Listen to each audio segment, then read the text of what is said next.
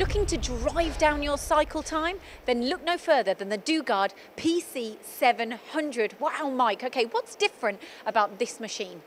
This machine, Lindsay, offers us the fact that we've got quite a large table size on here. So we've got traverses in X of 700 by 400 in Y, which allows people to put largest parts on these type of machines or a lot of smaller parts on. Okay, yeah, of course, if you've got any work holding on there as well, you're working on multiple parts.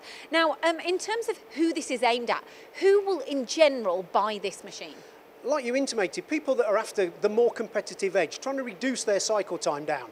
With a machine that's got 60 metres of rapid traverse, 21 station tool changer, therefore with the style of carousel that this machine has got, tool changing time of 1.7 seconds is really, really quick. So you can reduce those cycle times really quickly. Now, when we're talking about reducing cycle times, you're talking about saving money. How is it equipped for automation? Well, because of the style of the machine, we have doors on both the left and the right side. So they can be removed, automation placed either on the left or the right side of the machine. And so it lends itself ideally to fit in robot or automated loading. Perfect. And the control panel?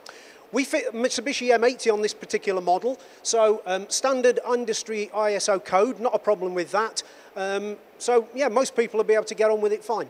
Okay, and prices. This is in stock and ready to go. It is. It's in stock, ready to go, and the prices start from £55,000. Brilliant. Okay, so all in all, who's this aimed at, and why should they go for this machine? People that just want that competitive edge, reduced cycle times, faster traverses, getting lots of parts off more quickly, and that's what everybody needs. And it's a bigger table too. And it's a bigger table as well. Thanks, Mike. Good luck. So speak to Dugard for more information on the Dugard PC 700.